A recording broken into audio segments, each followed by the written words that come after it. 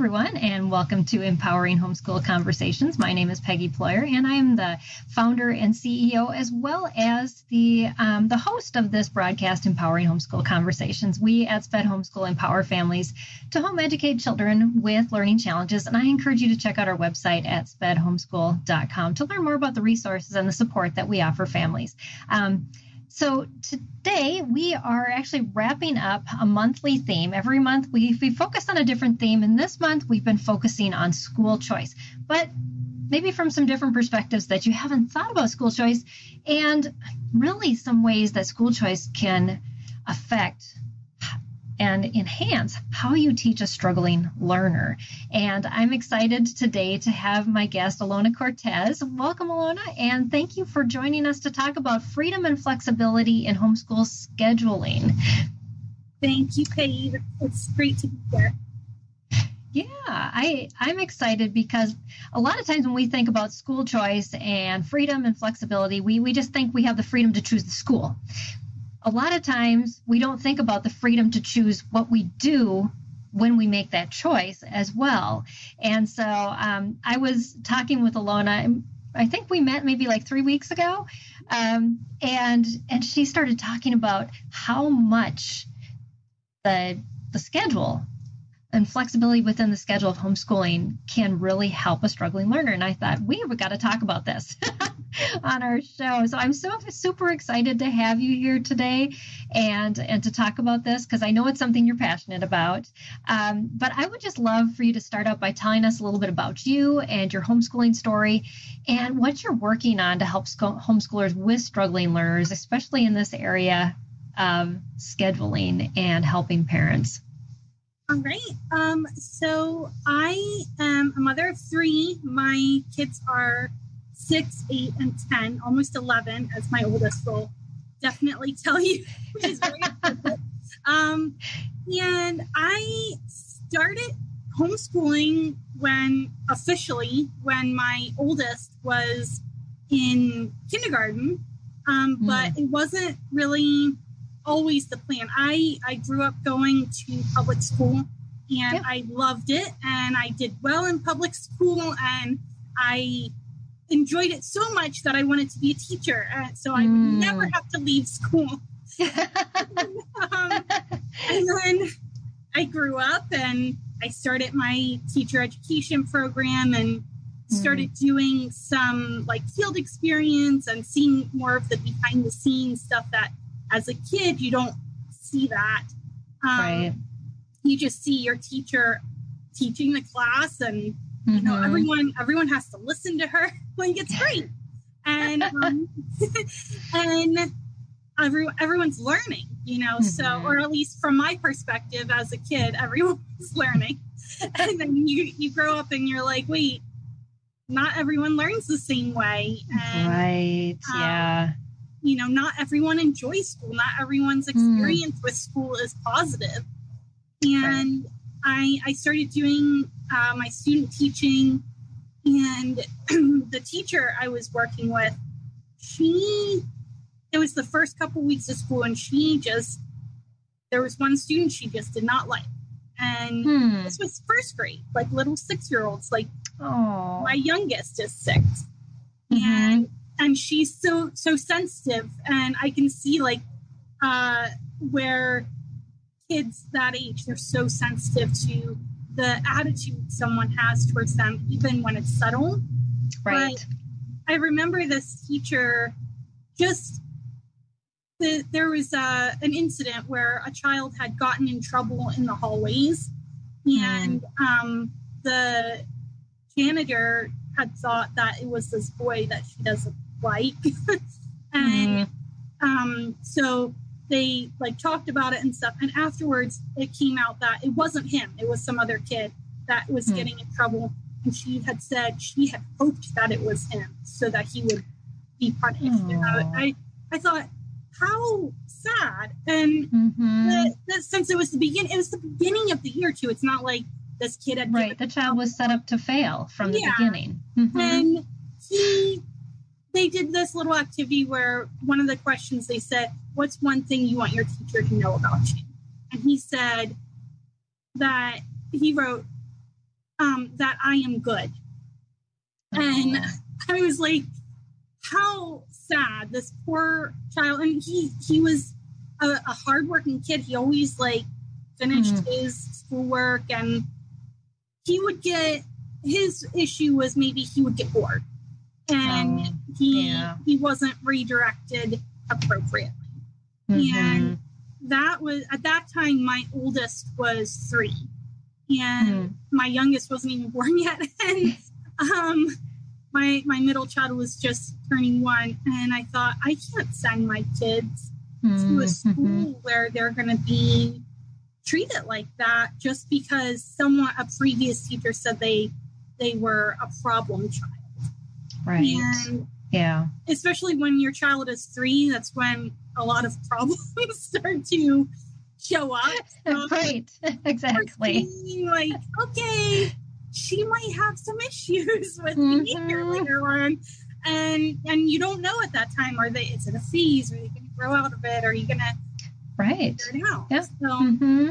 so i decided then but when my oldest daughter turned five i was in the middle of getting a divorce and mm. their biological father is no longer around them anymore mm-hmm. and it was so hard trying to take care of these three very small children. Yeah. So I would I was thinking I'll send my oldest to school. It'll lighten my load during the day and mm-hmm. she will get the education that she needs. But mm-hmm. I knew she had some difficulties already because I had mm-hmm. been doing like preschool and that kind of stuff with her. Right. And she caught on to some things, but her language still, she was struggling a lot with her language. Mm. Um, so I go to orientation, tell the teacher, look, you have to look right at her when you're talking to her. She can't do well with, she doesn't do well with background noise and things like that. Mm-hmm. And the teacher goes, okay, yeah, we'll, we'll deal with it. Six weeks into the school year, mm. nothing had been addressed and she wow. was falling behind very quickly and it was full day kindergarten. And for a kid who oh, had wow. never been in preschool, that's huge. Yeah. Mm-hmm. So, I mean, the first day she went to school, she came home, she got off the bus, and she said, Mommy, I missed you all day. I promise I'm never going to school again. And I was like, Oh, actually, you're going again tomorrow. and and but she, you know, people said she'll adjust, she'll get used to it. Even after six weeks, she still was miserable She hated it. Hmm. She's getting in trouble at school because she talked to the kids next to her. She's very sociable. She loves mm-hmm. other kids.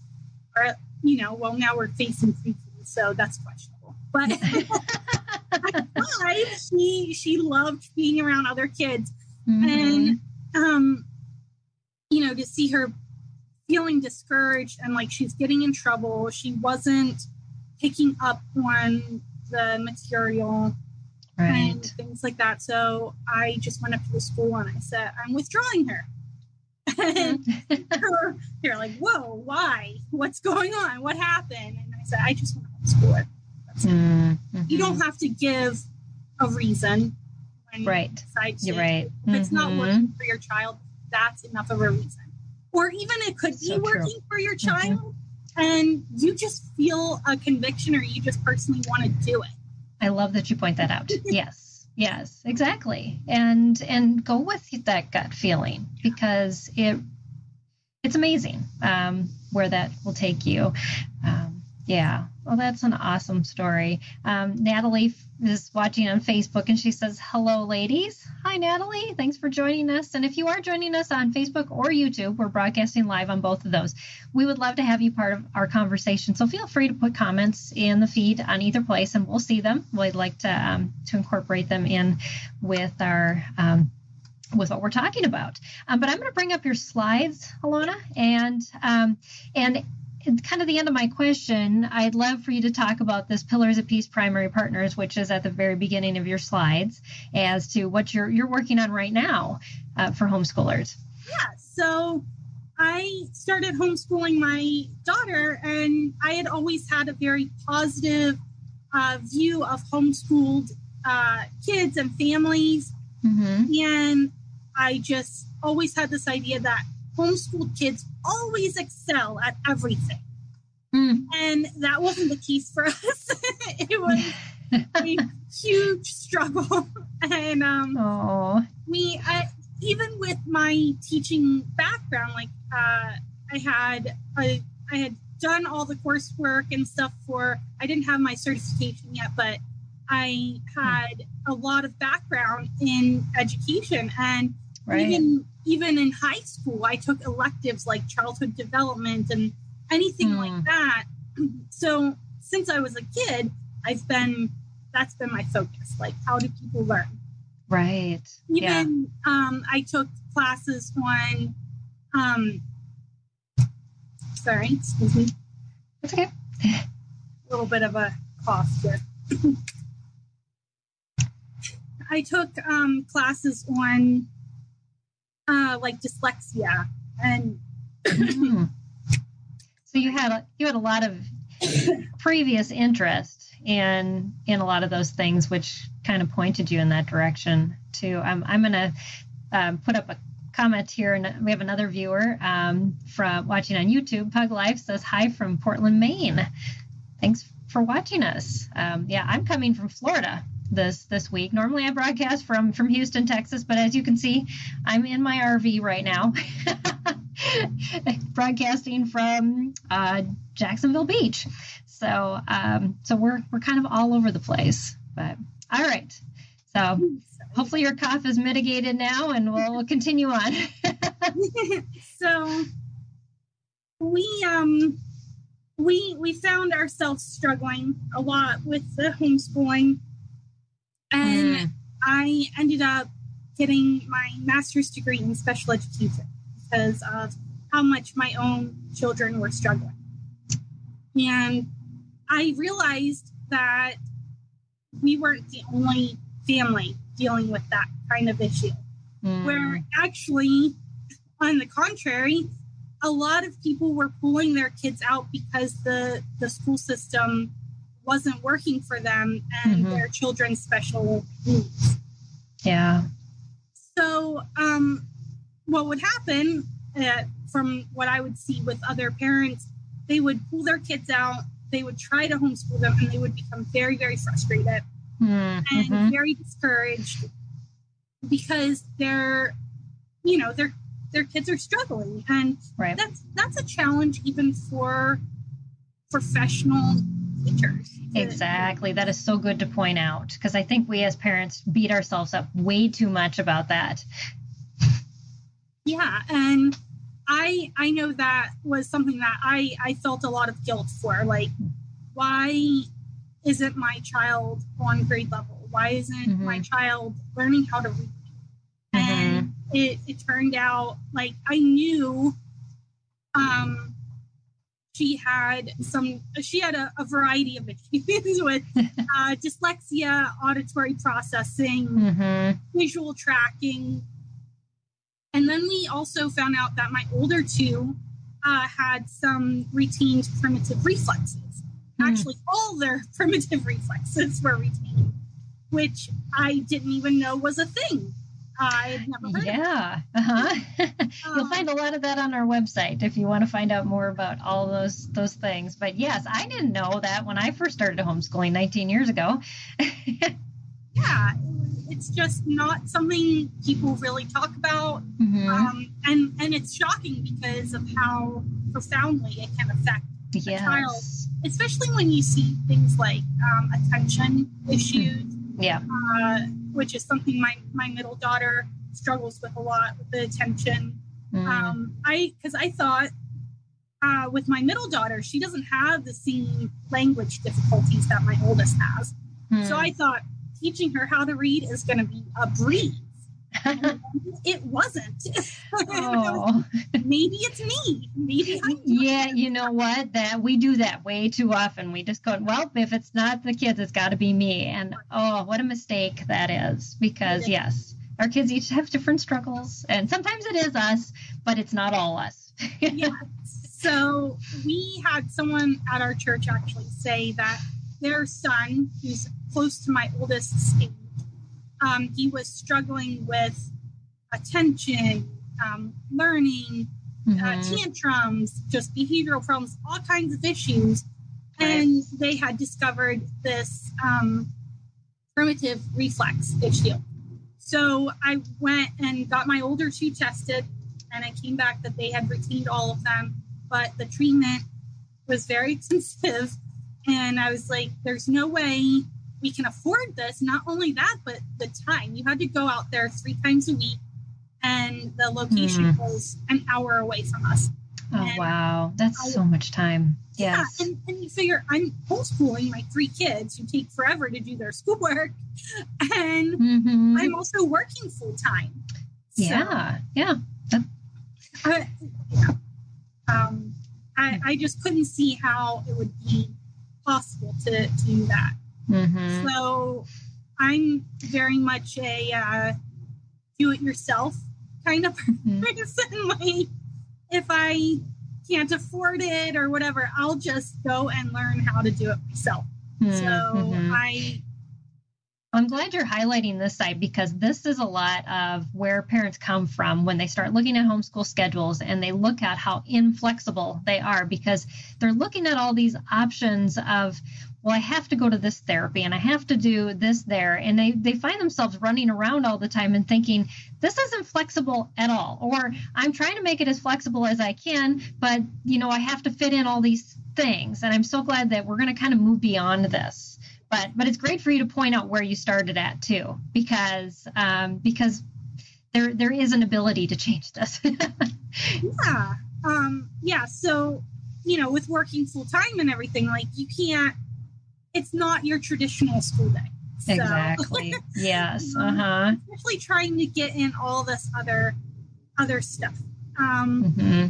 so we we started doing the exercises at home like I I bought a book, Dianne Craft's book. I, I mentioned that you worked with her. Um, mm-hmm. Yep, Diane has been a mentor of mine since I started homeschooling.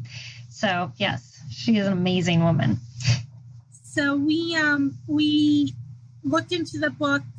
We started doing the exercises, but I also got them enrolled in occupational therapy mm-hmm. um, yep. because one, kids just work harder for somebody else. They do, yes, and that's good to point out. struggle as a homeschooling parent, you'll see like your your kids will go to co-op and suddenly they can read when they're there and they right. They're like, what's happening? mm-hmm. So um, so it's good they go to that once a week, but that wouldn't have been enough by itself. Um, mm-hmm. So we do the exercises at home, and even after like months, the therapists are like, wow, they're making really great progress. You know, mm-hmm. so um, it's nice also to have that third party to say, yes, hey, that, that we are making mm-hmm. progress. Um, yeah. And it motivates the kids as well. So with mm-hmm. Pillars of Peace, we're trying to integrate those two things where um, one, you have that third party, um, mm-hmm. someone else telling your kid, yes, you do actually have to do your schoolwork right they back up mom and dad and say yep we agree with them and um, also to to help with um, the consistency of doing mm-hmm. those exercises because it's so easy to just be like you know what i'm tired we have right. a pool we are busy mm-hmm. and even though the exercises don't really take a long time out of your day it's just the starting. it, it is. I remember when we started doing that, and I'm thinking, oh my goodness, so switching tracks. You know, for someone like myself who does have autism as well as my kids, switching tracks is difficult from every perspective in our family. And so I didn't want to switch tracks. I didn't. But when we have it with somebody else that we're accountable to, it happens more often. And I, I totally agree with that. yeah. Yeah. So, so I'm excited about, you know, this this um, program that you're pulling together because I, I and as I was telling Alona when she she introduced it to me, I'm like, this is filling a need that we have had for a long time in our community. Yeah. So I'm super excited.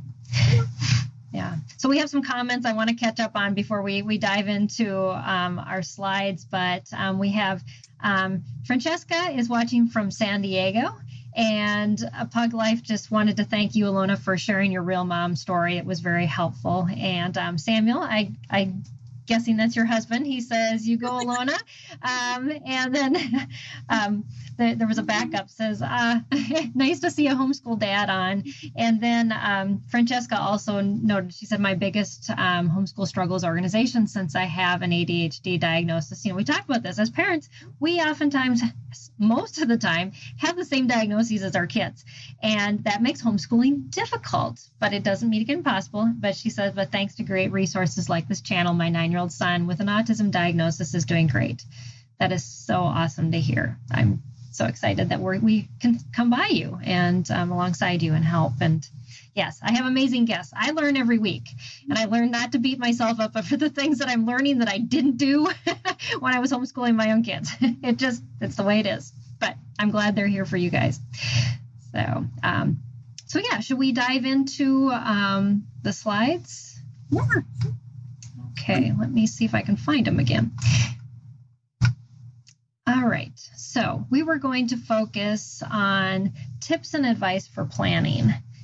And I think um, I'm going to run by my my questions here a little bit for you, but um, but I know we we oftentimes when families look at homeschooling, they ask other homeschoolers, you know, what their homeschooling schedule looks like, and um, I mean, would you recommend that approach? Why or why not? And what additionally would you suggest they do to start figuring out a good schedule for their family? Um, I think that it's probably almost inevitable that you're going to want to ask other mm-hmm. people what they do. Yeah. And for me, asking, like, if you're going to ask, ask a variety of people. That is a very good point. Mm-hmm. Um, yeah. So because ultimately it doesn't really matter what other people are doing. You don't need to base what you're doing off of what others are doing. Mm-hmm. But seeing the multiple perspectives yes. can, can yep. give mm-hmm. you some when you're just starting, um, especially for someone, you know, people like me that went to a public school mm-hmm. or their only experience is like a traditional school day. Right. Um, or yep even worse if you have a teaching degree and you really think that it needs to be like that. Um, right. You just have to remember, like the reason uh, public and even private schools are the, are set up the way they are is because they have so many kids, all mm-hmm. the same age, um, and the expectation is that they're all going to be working on the same thing. Right. And that's yes. part of why we homeschool is because we we don't think it that works. Mm-hmm. Right. um, yep. So we shouldn't model what we're doing after what we're already feeling like isn't working. Isn't, working exactly. Mm-hmm. So. Yeah, that's a great point to make. Awesome. Should I head to the next slide? Um, yeah, sure. Okay. So one of the things that well, this is kind of like an overview of okay. of kind of the points that I thought of when it came to making a schedule. Oh, okay. Um, yeah. So you can ask around and see what some other people are doing just to kind of see, because, you know, maybe they have an idea that you didn't uh, think of. Right. Um, mm-hmm. And uh, what I would recommend is uh, trying to do a routine more than a schedule, especially. Oh, I love that. Yeah. Love flip. Uh huh. Exactly. So, especially for kids that have um, learning challenges, mm-hmm. a rigid schedule can be very difficult. And, you know, mm-hmm. uh, parents who have their own hang-ups and stuff like that, you know, they might have right. their own attention issues or mm-hmm. their own mm-hmm. difficulties with organizing or anything like that. So mm-hmm. a routine can help you to know what's going to come next. Yes. But mm-hmm versus a schedule where it feels very rigid. And right, because there's certain time segments and you have to be done by a certain time and start by a certain time, and it, your anxiety level just shoots to the right. At least mine does um, when I have time periods and I can't keep them.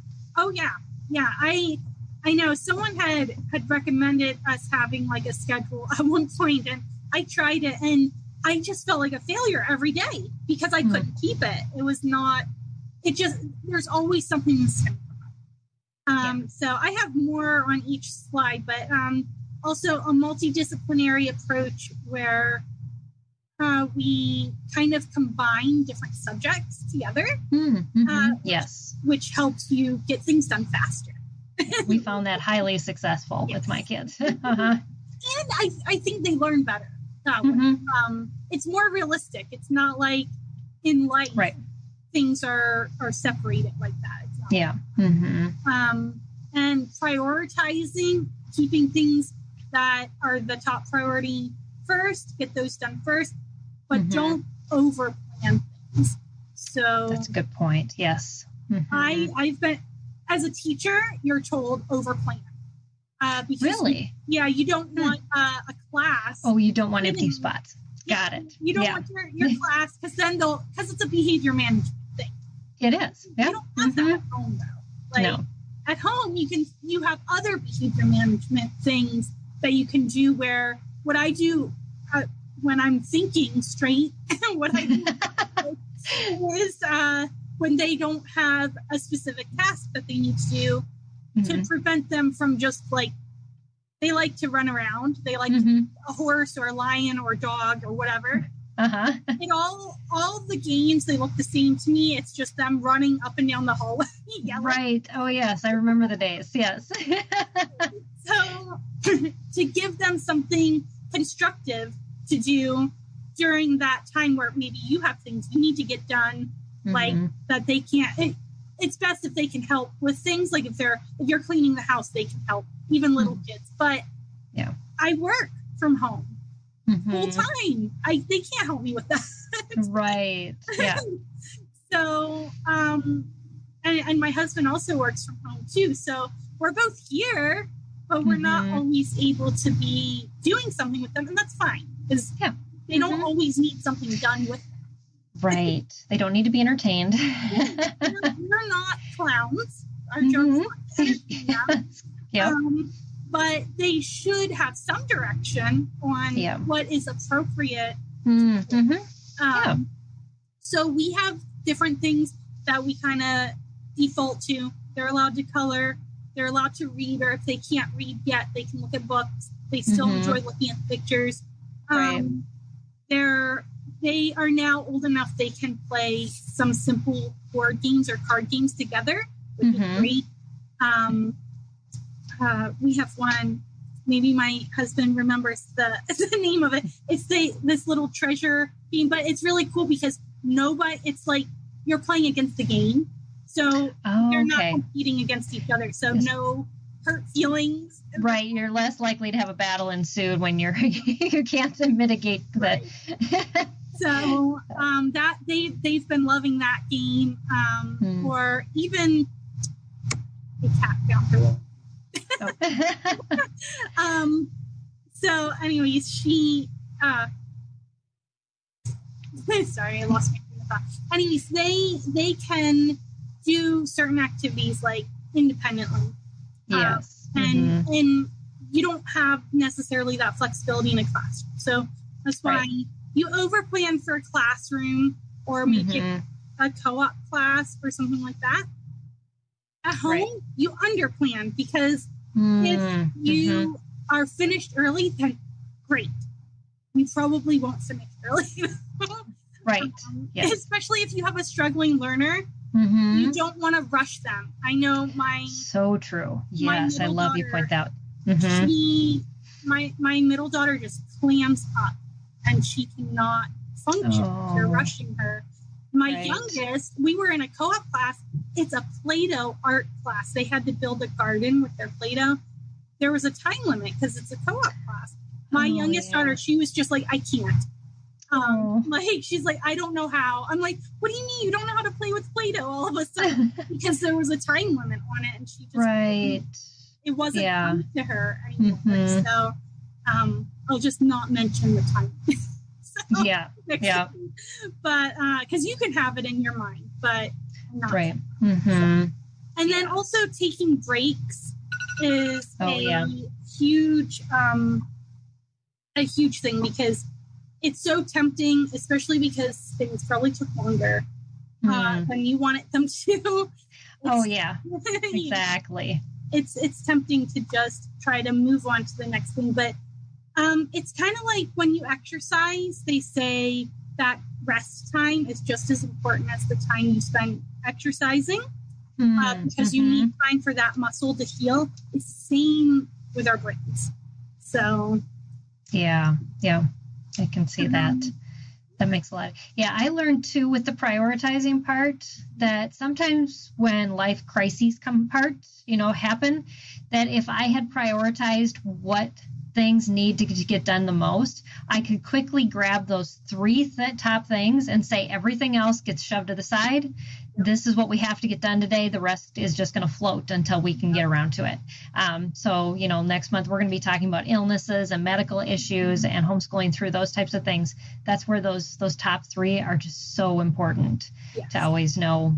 You know, yeah, prioritize it. It's and your priorities might look different than another family exactly that's that's a great point too. hmm Yep, yep, yeah. So don't always say.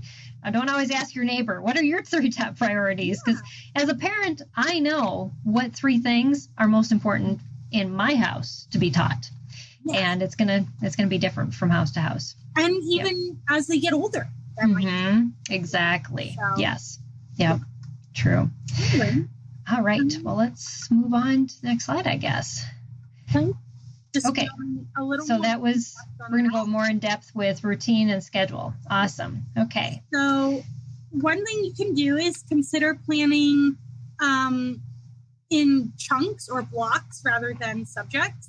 So, Oh. Uh huh. um, you can say, uh, like, for me, I know how my work day looks, and there are certain times of the day where I have meetings or I have lessons I have to teach for work.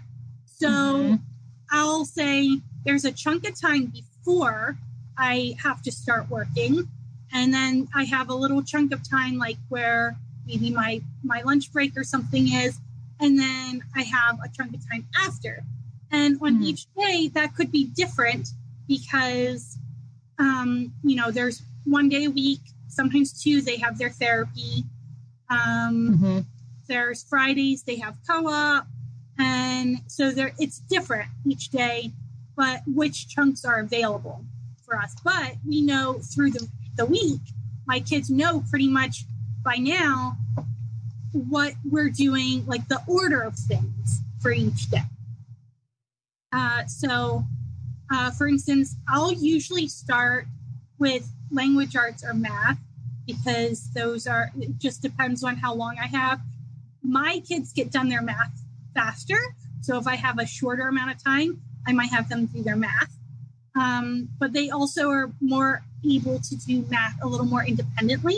So sometimes I'll save that for another time of the day where maybe I'm going to be doing other things and like maybe multitasking. Um, okay. So, so that's that's one way. Rather than saying, okay, we have to do reading at ten o'clock to eleven o'clock every day. Like, it may not Mhm. work that way. That might not work for you. Right. Exactly. hmm Uh, we tried that before, and it was it, it did not work. it was too stressful. Well, that, and that's good. We, it's good to know that there are some trial and error in, in this this process, Yes. and you're going to learn, and you're just going to tweak and change as things work and things don't work, and that's okay. Yeah. So there's definitely going to be trial and error, and also it's going to change as they get older. Mhm. because little kids are going to need a lot more uh, hand holding through their yes, yep. Um, hmm but once they get up to where they are a little bit more independent and i always encourage like to teach teach that independence at a young age uh, hmm which i get into a little bit later but um you know so it's going to look different when they're in early elementary versus when they're in high school Yes. So what true. they're learning Mhm. is different like when when they're in high school you're probably not going over um spelling words anymore Right. i mean And, some and some some people might be, but but yes. a lot of people they've shifted to something else and hmm now maybe they this is where they're able to focus more on um, like history and things like that. Whereas Mhm. when they're little, if if you can at least get them their foundation in, Yes. in their reading Mhm. and writing and their basic math, that's your priority as Mhm. as like Right. little kids. Mhm. Whereas some people nowadays, you have teenagers and toddlers in the same house and trying to balance them, and it can be a little bit more challenging to to try to um, meet all their needs. Mhm. So Not impossible, but it is challenging. Yeah. yes. definitely not impossible.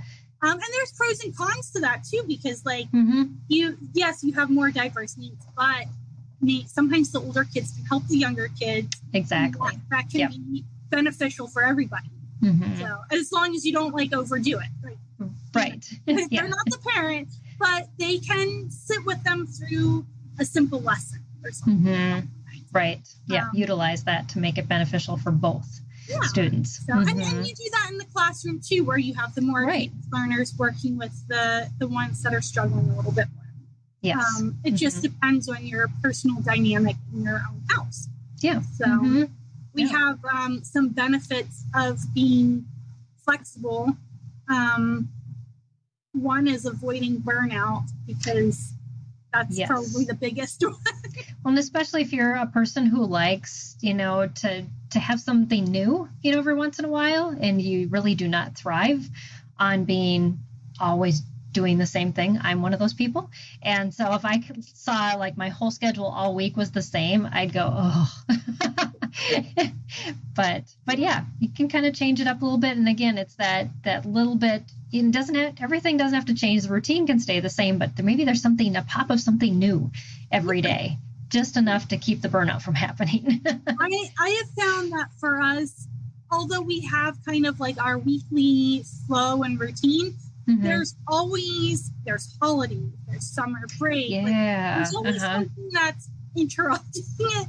So we don't Mhm. really get tired of it because by the time we really are getting used to it, Mhm. we're thrown out of it again and we have to like get back in it and stuff. So Right. I had actually seen um, on Facebook on a homeschooling group where someone was saying that their 10 year old was having a hard time falling asleep. And Hmm. this is a kind of common thing in the, the preteen teenage years. Yes. They their Mhm. circadian rhythm shifts. Exactly. and, um, you know, it starts to to be difficult for them to to fall asleep. Mm-hmm. So, um, I I was like recommending, you know, just you know, you got to work with them to hmm You do. Yes. help it, you know.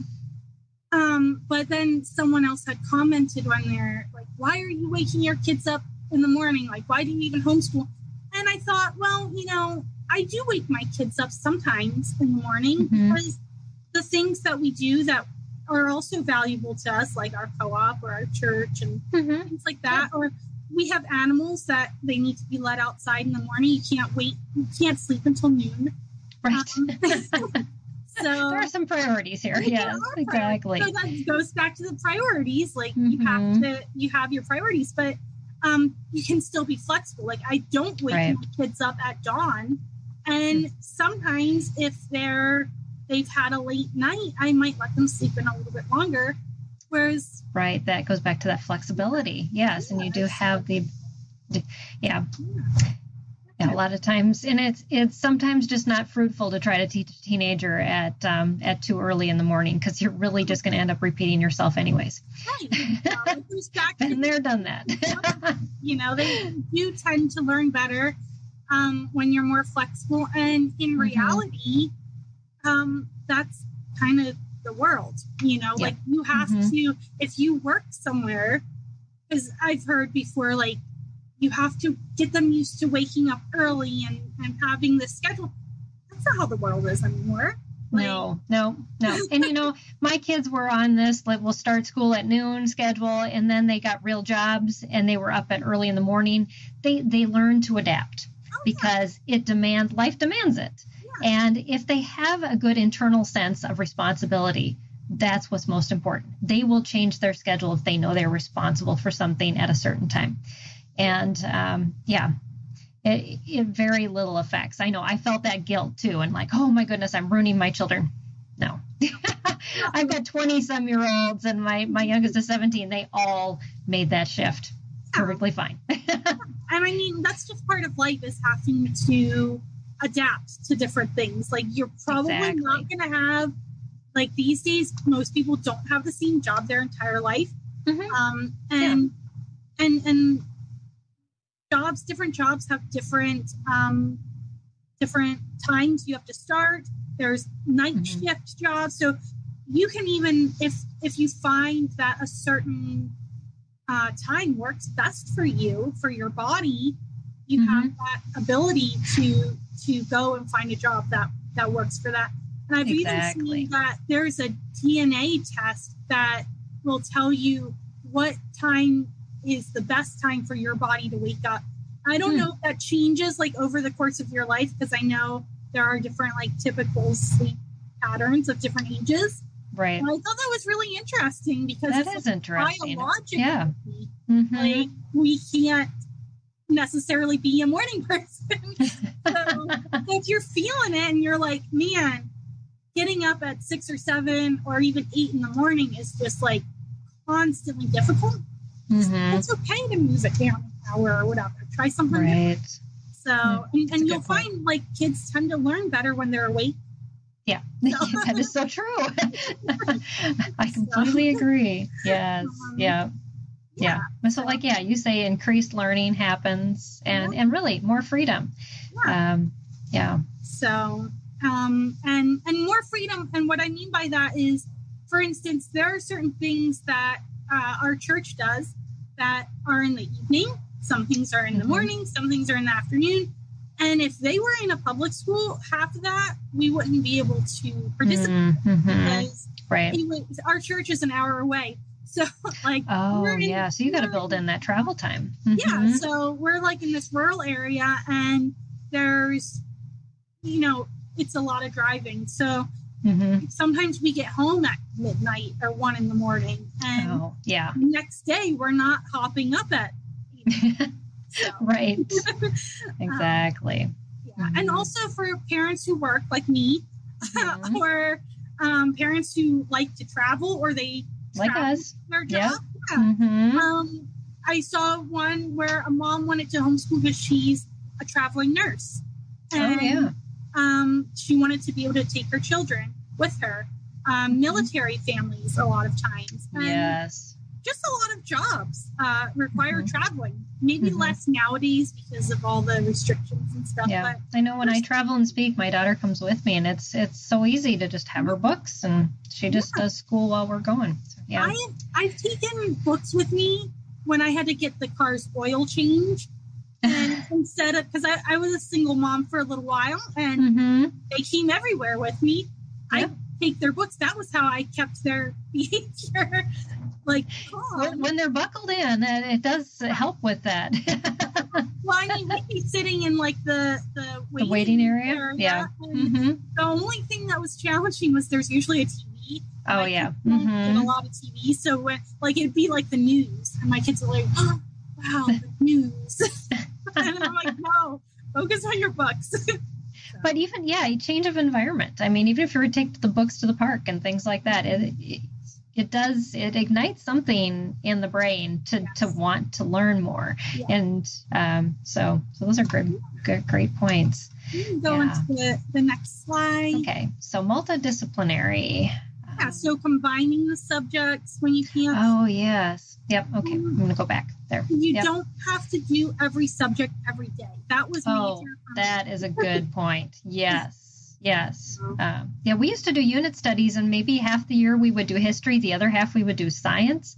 Um, and and with kids on the spectrum, when that don't you know shift topics too quickly, it was really good for us because um, it helped us to focus on one subject instead of to, to have one extra or two extra things in the day that we didn't have to shift because shifting is takes so much energy.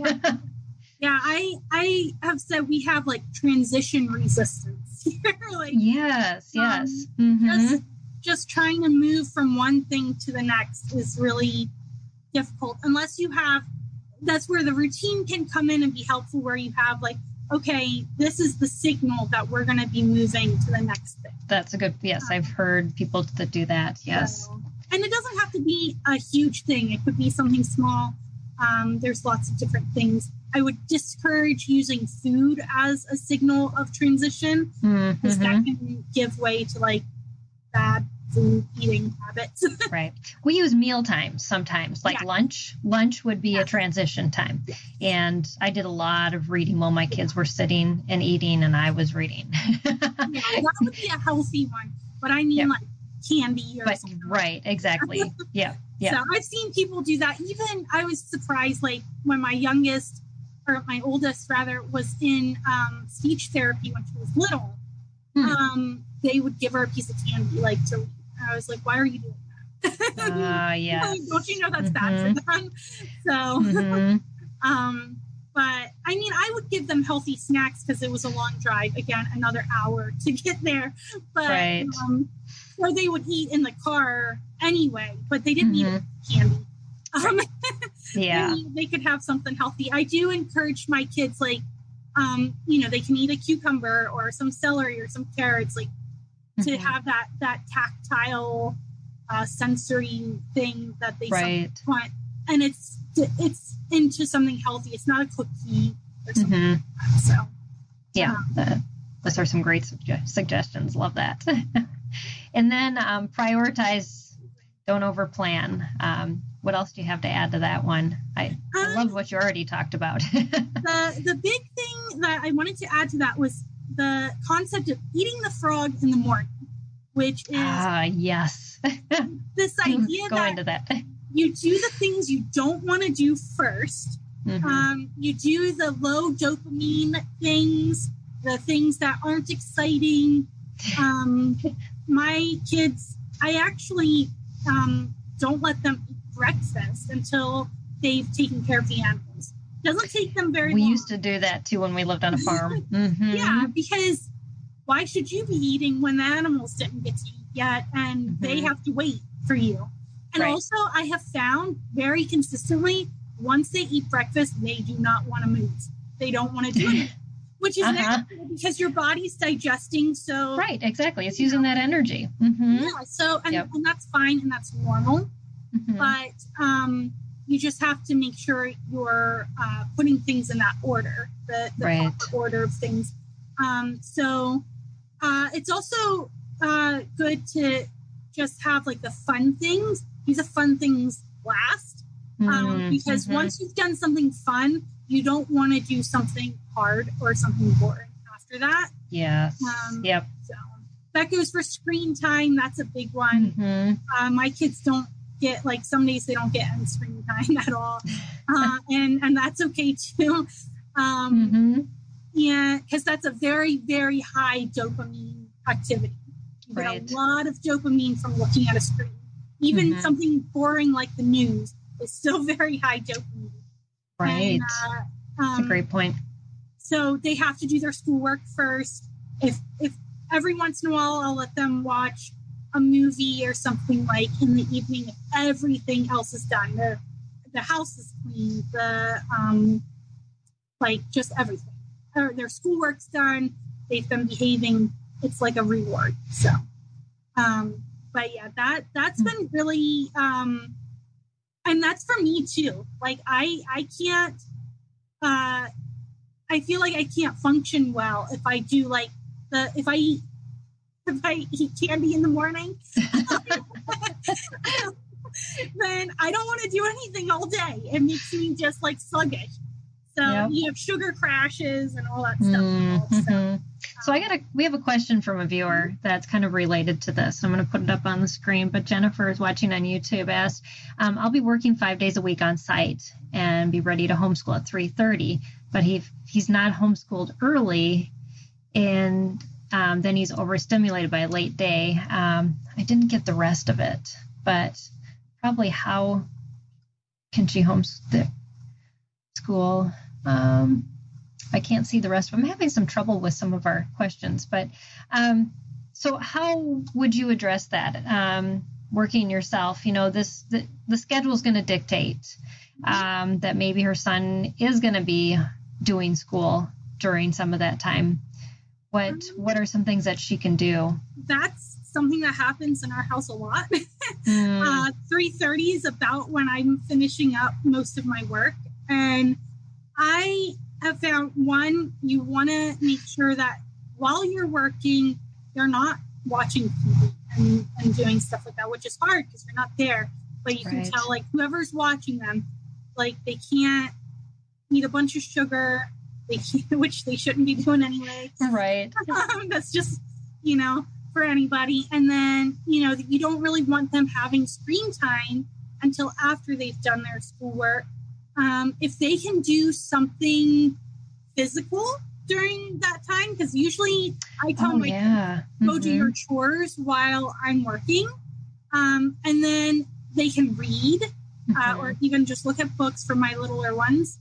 And they can do things that aren't as stimulating mm-hmm. until that time and also like if i don't know what what their setup is like if they are taking their child to like a daycare or if they're watched at home but mm-hmm. if they're mm-hmm. wa- being watched at home like don't wake them up just let them sleep longer that's a yes. yep. amount of time mm-hmm. and then they won't be so overtired when you get home right um, 3.30 is a hard time to start doing school because naturally most of our bodies are getting tired at that time. Mm-hmm. So you have to be extra patient and just understand like you're going to be tired because you just worked all day.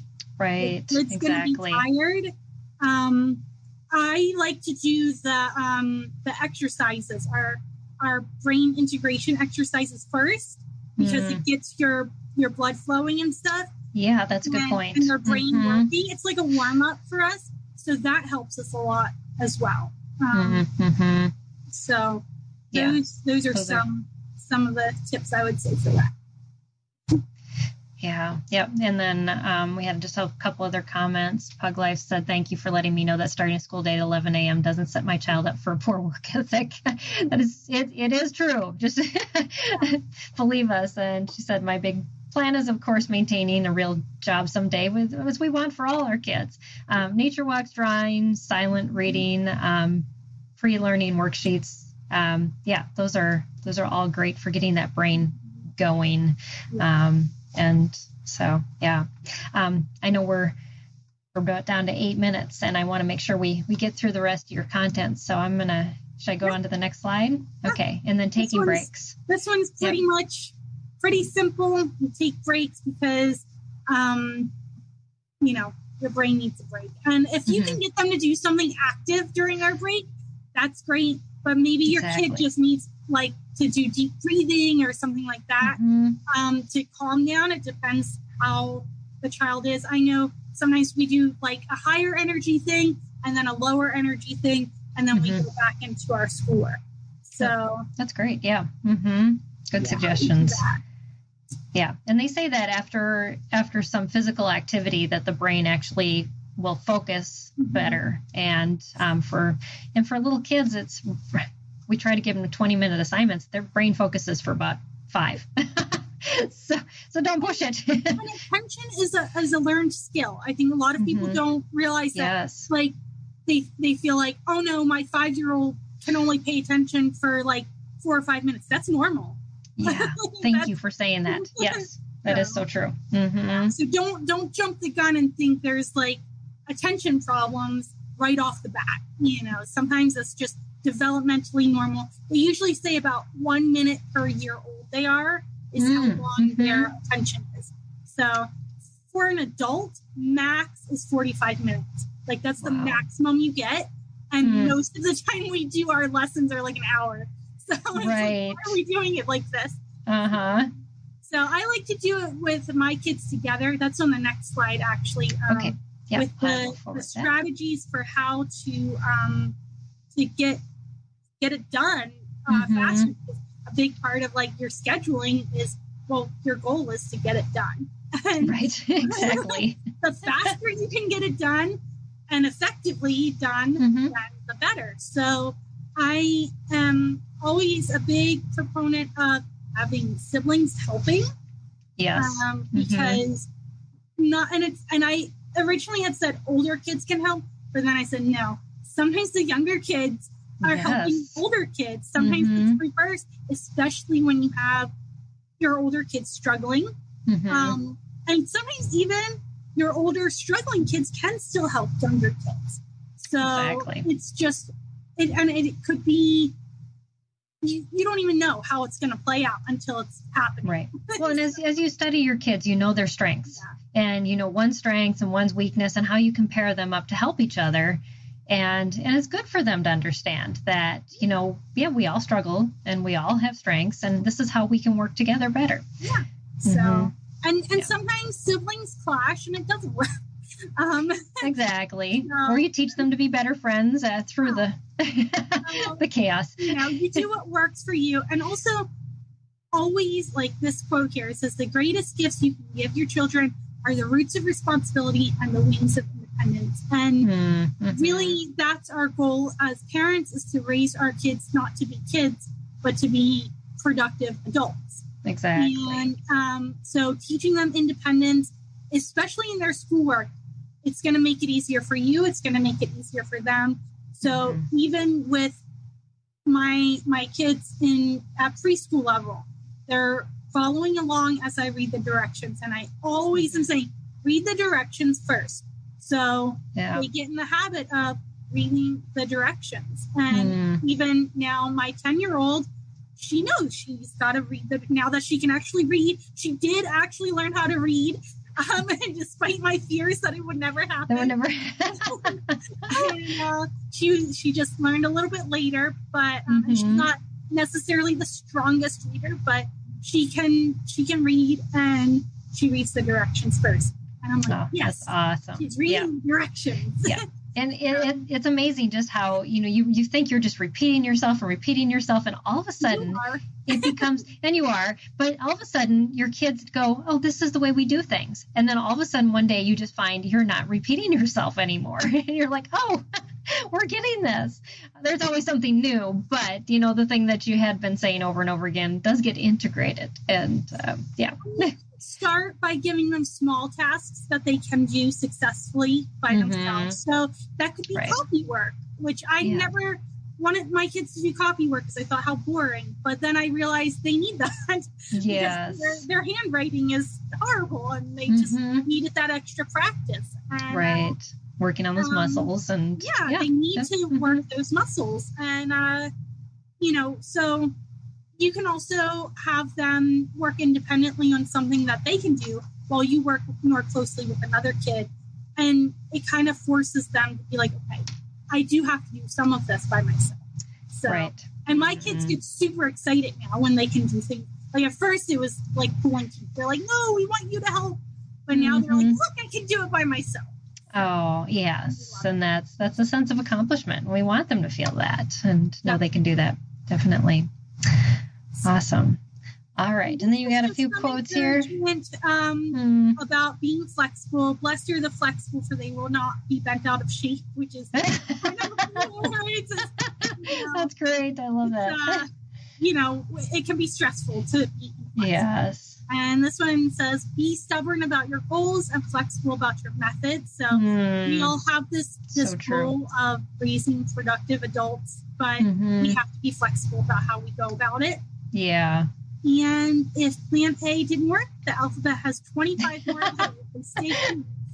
Uh, There's good. It, it's tempting to just Right. and be frustrated and say there's no other way to do this. There's, there's infinite ways to. exactly. So, Yes. So Yeah. true. I love that. And then people can connect with you at it's uh, Pillars of Peace Primary Partners.com. So we are um, a homeschool hybrid. We do everything online.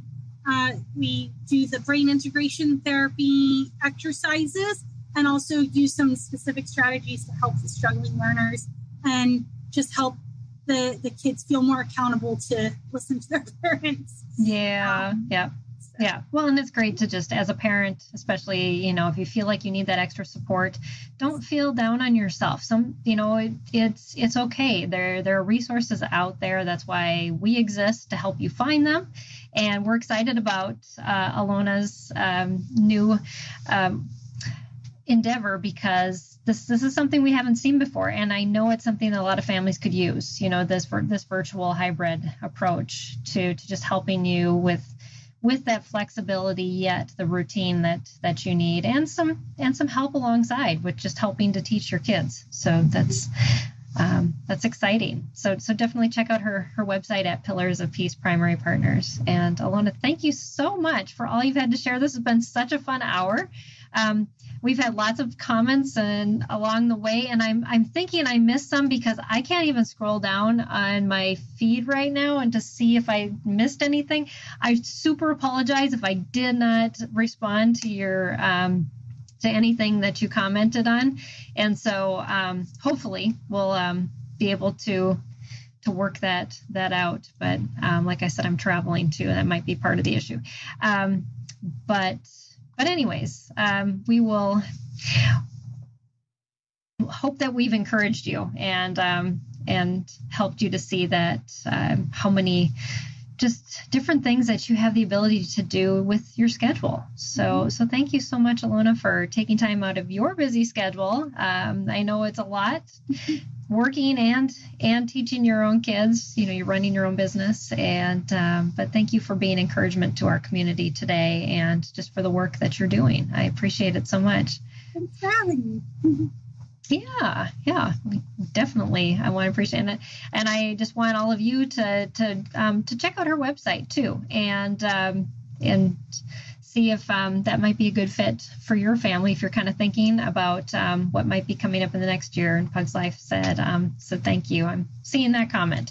So, um, but yeah, so this is our last broadcast um, this month where we're focusing on um, school choice. Next month, we're going to be focusing on medical issues and we're going to dive into a plethora of medical issues all at the same time. My, my guest that'll be on next week um, is Terry McKee, and she um, not only has kids with medical issues, but a husband with medical issues, and herself as well, and just how she navigates homeschooling. We're just going to be sharing some stories, some um, personal insight on on how to do that. And I know we deal with illnesses sometimes, maybe more um, long term chronic, um, and with all the things going on in our world, we deal with a lot of illnesses that are short term too. So. Um, so definitely want to join us, um, and we'll be on at the same time um, next week. Um, Samuel gave you a thumbs up, Alona. so, um, but um, but yeah, so so join us next week, same time, same place. Uh, we'll be here on Facebook and YouTube as well, and um, we hope to to see you then. So, so thanks everybody, and um, check out our website again at spedhomeschool.com, and um, that's where you'll, and also Alona's website as well. And um, we'll see you next week right here on Empowering Homeschool Conversations. Bye, everybody.